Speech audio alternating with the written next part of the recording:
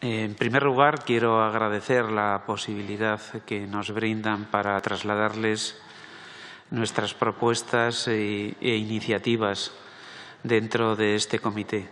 Les hablo en nombre de la Fundación Renovables.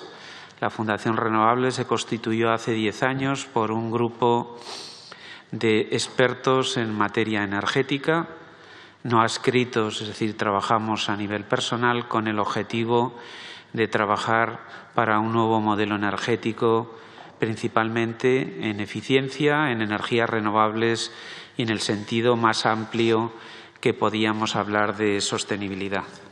Justo hoy, hace una semana, el martes pasado, presentamos eh, un nuevo informe. Este informe tenía como título Lecciones aprendidas para salir de la crisis, que creo que les han, se ha enviado a, esta comisión. Y dentro de este título tenía dos grandes apartados. El primero, ¿quién pagó la crisis del 2008 en el sector energético? Y el segundo, iniciativas y propuestas para la reactivación y recuperación económica post-COVID-19. Nos enfrentamos a las consecuencias económico y sociales de una decisión adoptada para trabajar para salvar la cuestión del COVID-19, la pandemia del COVID-19. Pero a mí no me gustaría iniciar esta comparecencia sin olvidar otra pandemia que nos acoge, que por su lentitud quizás no la tenemos considerada, que es la lucha contra el cambio climático, la emergencia climática. No trabajar en esta línea supone la posibilidad y la necesidad de combatirla y también supone perder una oportunidad de posicionarnos en un futuro, no me cabe ninguna duda, de mayor progreso que el que seguramente estamos diseñando ahora. En este punto, nosotros, a lo largo de esta comparecencia, les vamos a proponer una serie de propuestas y de iniciativas cuya elegibilidad o idoneidad ha pasado un filtro o al menos una exigencia para nosotros vital para poderla considerar con el trámite de urgencia en que todos creo que nos movemos. El primer punto es la exigencia de sostenibilidad de todas nuestras propuestas per se. El segundo punto, todas las propuestas tienen viabilidad económica. Y en este punto creo que es importante porque, desgraciadamente, en situaciones como la que nos encontramos, tendemos a acabar haciendo monumentos funerarios a algunos proyectos pilotos o algunas iniciativas que no tienen esa viabilidad económica. Para nosotros, viabilidad económica es aquello que puede funcionar sin la necesidad de un refuerzo económico constante por parte de los poderes económicos públicos.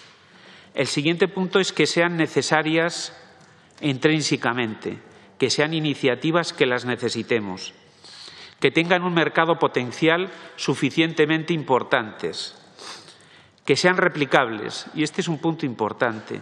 Si no conseguimos que las iniciativas sean replicables, seguiremos trabajando en los proyectos piloto que estamos muy acostumbrados. El siguiente punto es que los ejecutores sean fundamentalmente empresas de pequeño y mediano tamaño. Con esto conlleva la exigencia de que sean actividades distribuidas territorialmente y que, en cierta manera, vayan a paliar y a ayudar la respuesta que necesitamos para sectores económicos que han salido tremendamente damnificados con este stop and go de la economía que todos hemos adoptado en aras a la salud. Penúltimo punto es pensando en el consumidor. Muchas veces cuando hablamos de energía siempre tendemos a pensar que la energía es exclusivamente un negocio y nos olvidamos que la energía es un bien de primera necesidad. Si no trabajamos con los consumidores, si no trabajamos todos juntos, lo que nos vamos a encontrar es que nuestras propuestas siempre van a estar en el mismo ámbito, en el mismo ámbito concesional, en el mismo ámbito regulatorio y no vamos a avanzar en esa misma línea. Y por último, que sean inclusivas. Hemos visto y veremos en un pequeño recuerdo de cómo pasó la crisis del 2008 que hemos conseguido, por no actuar, convertir problemas coyunturales en problemas estructurales. Si la salida y nuestras propuestas no incluyen a la totalidad de la población, estaremos convirtiendo en estructural un problema que tenía solución, porque seguramente era coyuntural. Y en este punto a mí sí me gustaría eh, recordar el pasado, proyectar el futuro sin aprender eh, cuáles son las enseñanzas del pasado, eh, pues quizás lo que nos pase es que nos olvidemos de algo que hicimos y no salió como esperábamos que saliera. Y si vamos a la crisis del 2008, nos encontraremos que en materia energética no hubo una salida de la crisis, solo hubo una lucha contra el déficit tarifario. De hecho, si el ímpetu que todos los gobiernos que hubo desde el año 2008 hasta el año 2014 se hubieran dedicado a pensar en el cambio climático en vez de exclusivamente en el déficit tarifario, en estos momentos España no habría cerrado el año 2020 con un 17% de incremento de emisiones frente a un objetivo y un compromiso con la Unión Europea de una reducción del 20%. Cuando hablamos de la crisis del 2008 y del déficit tarifario, quizás un paréntesis, el déficit tarifario se crea en el año 2000 por la decisión del Gobierno de no aplicar transparencia en la fijación de precios y su traslado al consumidor. Y fuimos creando una bola, una bola, una bola, hasta que llegamos a casi los 40.000 millones de euros, un 3,5% del PIB anual eh, de deuda por no reconocer y por no controlar algo que se nos había ido de las manos. Como les decía, la crisis del 2008 la pagaron los consumidores y la pagaron los inversores renovables. Todos hemos oído que la pagamos alícuota o que la pagó alícuotamente todos los sectores, pero a mí en el informe que tienen a su disposición es interesante recalcar cómo para el consumidor la electricidad subió un 80% y la parte fija que establecía, la parte regulada que establecía el Gobierno, un 155%. Como el transporte eléctrico, red eléctrica española, en los años 2008-2013 subió un 29% la retribución. Como la distribución subió un 17%. Como los servicios de ajuste subieron un 112% cómo los pagos de capacidad subieron un 445%, cómo las ayudas al carbón supusieron 500 millones de euros en, inversiones medioambientales, 3.000 millones de euros en la activación operativa para que luego los propietarios decidieran que no era rentable y se adoptara el cierre entre el año 2018 y el 2019. Cómo la interrumpibilidad los electrointensivos que ahora estamos tan de moda, se subió un 196% la retribución y si consideramos el año 2011 se multiplicó por cinco la retribución que había en el 2008.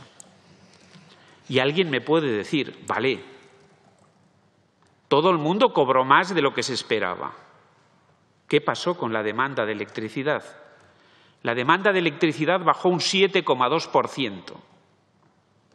Luego creo que tendremos que aprender que salir de una crisis no es favorecer a unos pocos y perjudicar a la mayoría, sino trabajar inclusivamente a favor de todo el mundo. De hecho, una referencia. Se acaba de presentar el proyecto de ley de ley de cambio, la lucha contra cambio climático, cambio climático y transición energética. Y para nosotros es una tristeza que España pone como objetivo para el año 2030 el objetivo que Bruselas dio para la Unión Europea para el año 2020. Yo cuando veo que mi país reconoce que ha perdido diez años por voluntad propia en un compromiso que tenía, tengo un doble sentimiento. Por un lado de tristeza y por otro lado, si me permiten, de enfado porque, en cierta manera, con el potencial que tenemos, no hemos cumplido en absoluto lo que teníamos previsto. Para nosotros salir de una crisis, yo creo que para todo el mundo, está fundamentalmente, especialmente interesante los primeros movimientos que nosotros podamos tomar. Y si analizamos la salida de la crisis del 2008 con el 2008 el famoso Plan E, Plan Español de Estímulo para la Economía y el Empleo, 2009 Fondo Estatal de Empleo y Sostenibilidad Local, 2010 Medidas de Impulso de Reactivación Económica y del Empleo, nos podremos dar cuenta que la, la situación no funcionó. Y hay veces, y me he leído repetidas veces los tres elementos. Primero, porque se equivocó inversión con gasto.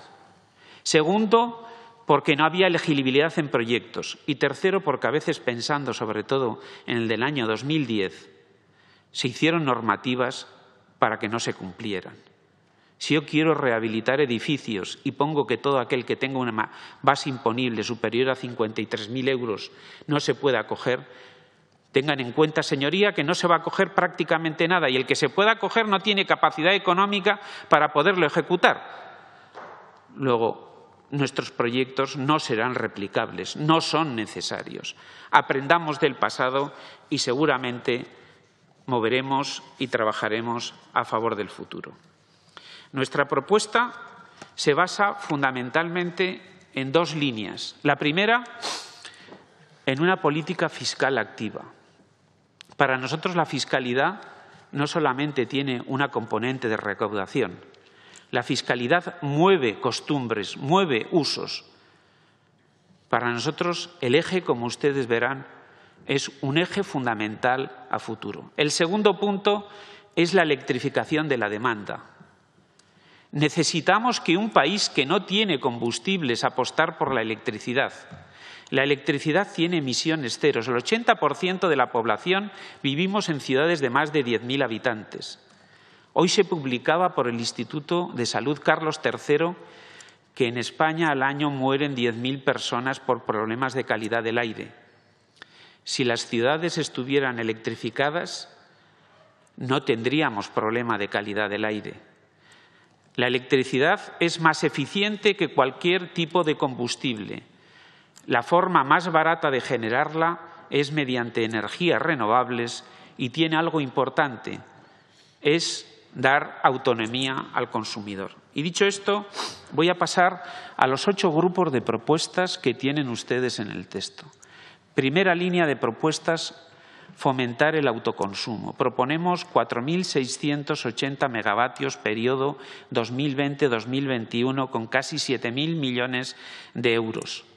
El autoconsumo es tan importante como es la diversificación geográfica que permite y está ejecutado fundamentalmente por pymes.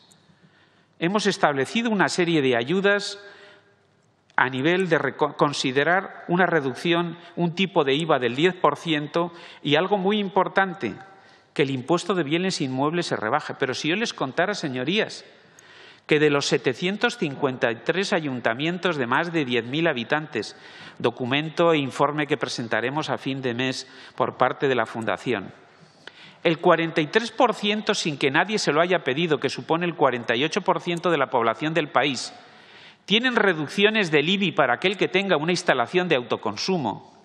Podremos ver algo fundamental, y es que los ayuntamientos, por la cercanía a los ciudadanos, están muchas veces más cercanos de nuestros problemas que los que puede estar el Gobierno o el Parlamento o las comunidades autónomas. Luego me referiré con posterioridad a la necesidad de fomentar y de apoyar este tipo de iniciativas.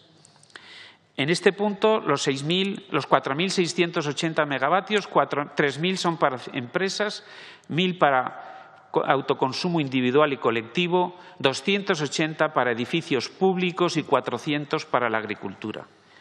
Apostamos como segunda línea por la generación centralizada y distribuida, y le pedimos al Gobierno que en el tercer trimestre de este año saque las subastas que nos llevan prometiendo desde las que se celebraron en el año 2017. No solo que las saque, sino por supuesto que las mejore, porque las del año 2016 y 2017 creo que han cubierto todas las malas expectativas que todos teníamos Y en esos 14.250 megavatios de licitación se movilizarían 14.000 megavatios. El sector renovable no pide ayudas, no pide suelo, lo que pide es certeza, lo que pide es visibilidad, lo que pide, en cierta manera, que las reglas del juego estén conocidas. Apuesta pública para estos 14.000 megavatios, cero. El tercer punto, y quizás más importante, es la apuesta en la rehabilitación de viviendas. Como Fundación Renovables no apostamos tanto para la obra nueva como puede ser para la rehabilitación de viviendas. En cierta manera, porque, señorías, el 53% de los edificios de las viviendas de este país carece de aislamiento. El 97% de las viviendas de este país está fuera de norma, no tiene categoría A ni categoría B. Porque en este país tenemos 30 puntos porcentuales de diferencia con respecto a vivir en bloques con respecto a la Unión Europea y necesitamos fomentar el autoconsumo compartido. Proponemos para el año 2020 y 2021 la licitación e inicio de ejecución de 750.000 viviendas, rehabilitación de 750.000 viviendas, en las cuales 250.000 son viviendas de familias vulnerables. Tenemos un millón y medio de viviendas de familias vulnerables. Aquí sí la Administración, aquí sí la inversión pública asumiría el 50% de esa inversión con 2.500 millones de euros. Apostamos, siguiendo las normas de la Comisión Europea, por el 5% de rehabilitación en los edificios públicos y en los edificios de servicios. Y en este punto supondría la movilización de más de 20.000 millones de euros. Y cuando estamos hablando de que los poderes públicos, que el dinero público actúe en la rehabilitación de vivienda, no estamos hablando de subvenciones. Estamos hablando de procedimientos participativos como se han desarrollado a lo largo de la Unión Europea o en Estados Unidos o como tenemos ejemplos en España en el Ayuntamiento de Olot o en el Ayuntamiento de Vitoria-Gasteiz, dentro del barrio de Coronación. No podemos fomentar la rehabilitación de viviendas en base al endeudamiento de los propietarios, entendiendo que en España el 76,3% de las viviendas la utilizan sus propios propietarios y tenemos nada más y nada menos que 19, 19 millones de viviendas a nuestra disposición. Cuarta línea de trabajo, movilidad. Para nosotros la movilidad no es cambiar un vehículo de combustión interna por un vehículo eléctrico. Para nosotros la movilidad es reducir las necesidades de movilidad y que éstas sean sostenibles. Y en este punto apostamos primero por el teletrabajo. Establecemos un objetivo de un millón de personas y lo dotamos diciendo que aquella empresa que tenga un trabajador que el 60% de su tiempo, tres días a la semana, esté trabajando en casa, tendrá una reducción de tres puntos en la cuota de la seguridad social. Lo sabemos, son 520 millones de euros lo que nos costaría el año. Pero si no damos señales, con reconocer que el teletrabajo es positivo y es bueno, no vamos a avanzar. Apostamos por la movilidad del trabajo para un millón de personas, creando elementos para reducción y que no se utilicen el vehículo propio. Apostamos por ayudas, que son reducir el IBI, el impuesto de circulación y el impuesto de matriculación, el IVA, perdón, no el IBI, de vehículos eléctricos en 500.000 vehículos eléctricos y también en 500.000 bicicletas eléctricas. Apostamos por el transporte público con una modificación de tarifas y que el 5% de todos los autobuses que se adquieran en esta fecha sean eléctricos. Lo sabemos. Supone un incremento de inversión de casi 400.000 euros por autobús.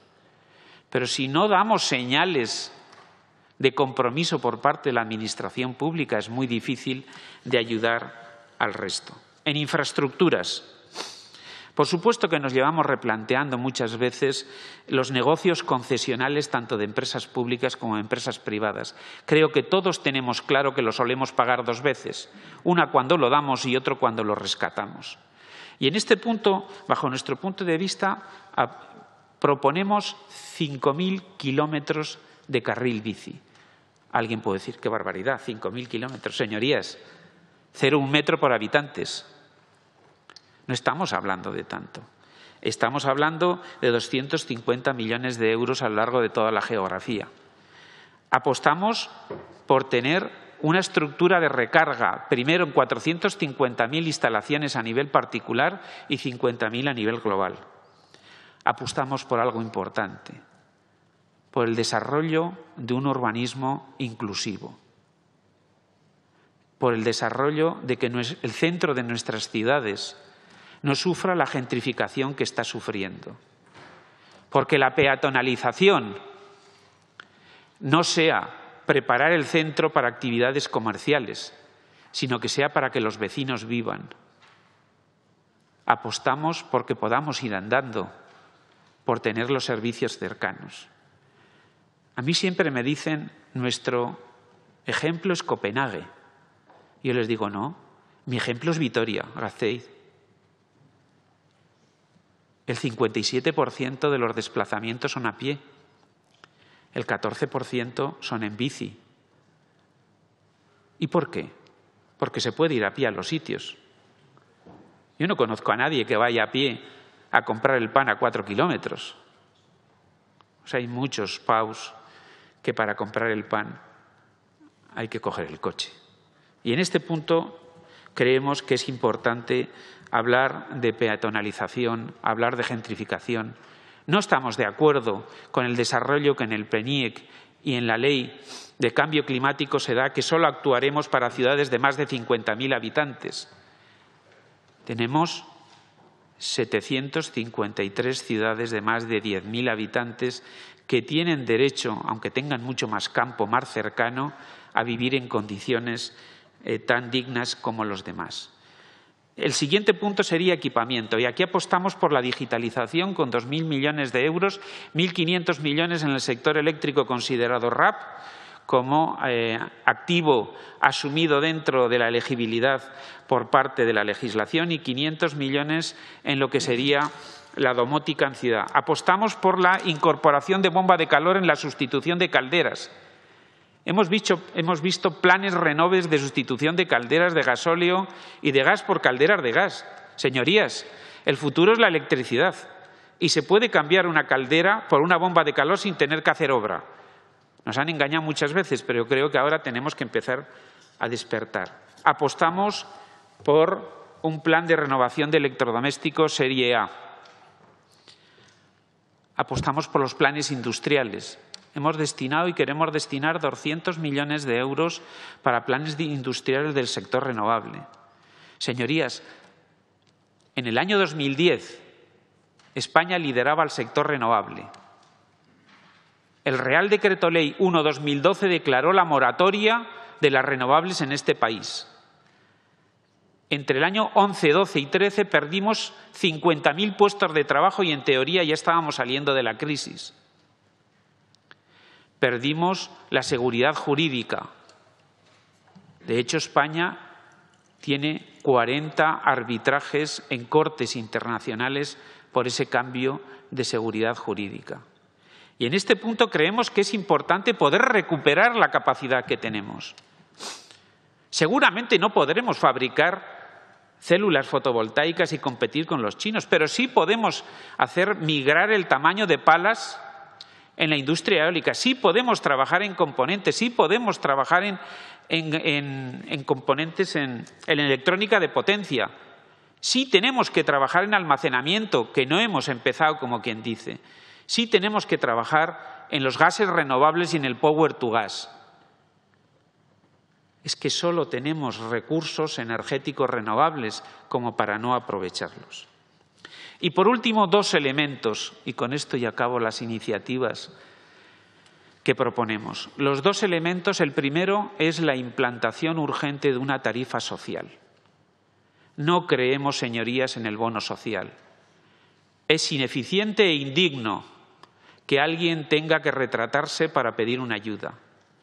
Proponemos que las familias vulnerables por renta tengan 2,3 kilovatios de potencia gratuita y 1.500 kilovatios y todos los que se acojan a la tarifa social un IVA superreducido del 4%.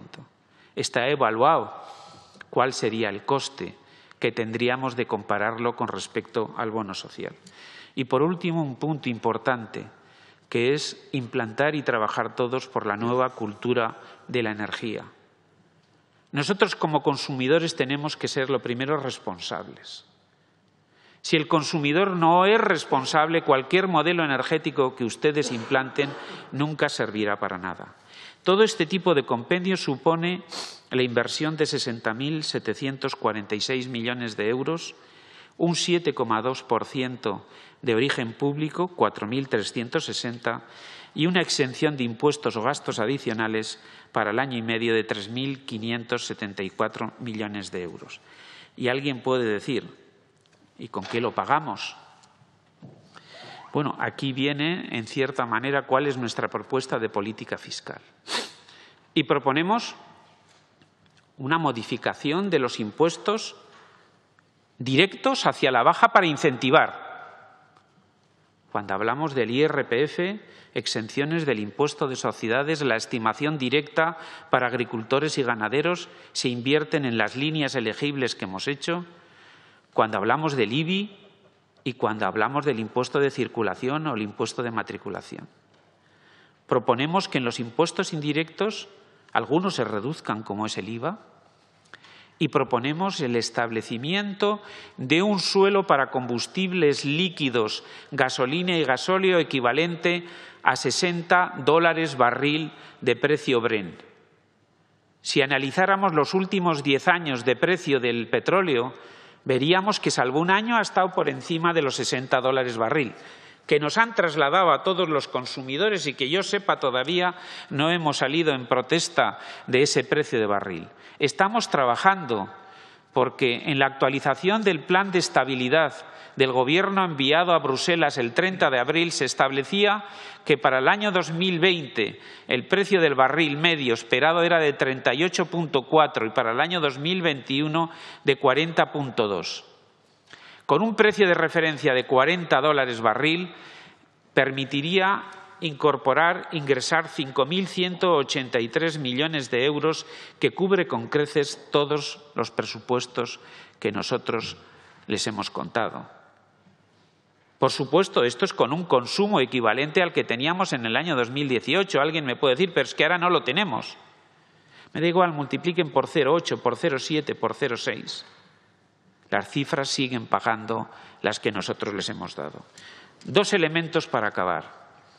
El primero, la necesidad de potenciar la capacidad del papel municipal. No podemos tener una ley reguladora de bases del régimen local que impida que lo más cercano que tenemos no nos pueda ayudar, como lo está haciendo con el IBI, como lo están haciendo los servicios sociales con la pobreza energética, que no sé si ustedes saben que para poder cortar o para que no te corten la luz tienen que pagar el 50% de la tarifa a los ayuntamientos a los cuales pertenecemos. Y en este punto Creemos que muchas de las peticiones, incluyendo la que ha hecho el alcalde de Madrid, de que es importante liberar los fondos que los ayuntamientos tienen para poder acometer este tipo de iniciativas, son obligadas. Proponemos elaborar un Real Decreto Ley con materia de urgencia que modifique tanto la ley del IVA, la ley de impuestos especiales, la ley 3R de regeneración de edificios, magnífica ley del año 2013, por supuesto, la ley del sector eléctrico del año 2013 y toda la normativa para que estos proyectos elegibles los tengamos en marcha y cuando lleguen, si es que llegan los fondos europeos, podamos aplicar a proyectos idóneos e ilegibles. En este país tenemos una mala costumbre. Primero esperamos el dinero y luego decidimos dónde lo colocamos. Y acabamos colocándolo en los sitios que a lo mejor no lo tendríamos que haber colocado. Lo que yo siempre he llamado monumentos funerarios a las iniciativas tanto políticas como económicas. Señorías, Picasso, cuando le preguntaban por su capacidad creativa, siempre decía, cuando llegue la iluminación que me encuentre trabajando. Creo que el compromiso que tenemos todos, y yo no les voy a decir que el compromiso que tienen ustedes, señorías, lo tenemos entre todos, cada uno en nuestro papel, está para apostar por líneas de salida que generen progreso, que sean inclusivas y que nos permitan tener un modelo energético mucho más sostenible del que ahora tenemos. Muchísimas gracias por su atención y a su disposición.